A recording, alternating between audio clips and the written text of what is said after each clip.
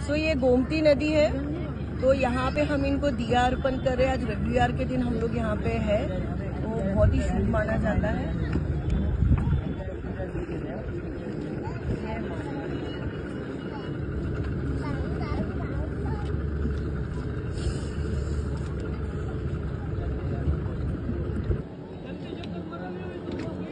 ये आटे की गोली है तो हम इसको नदी में डालेंगे। राम नाम बोलते हुए। राम राम। मछलियों को देने के लिए होता है। गाय को भी दे सकते हैं हम, बहुत ही शुभ मानते हैं।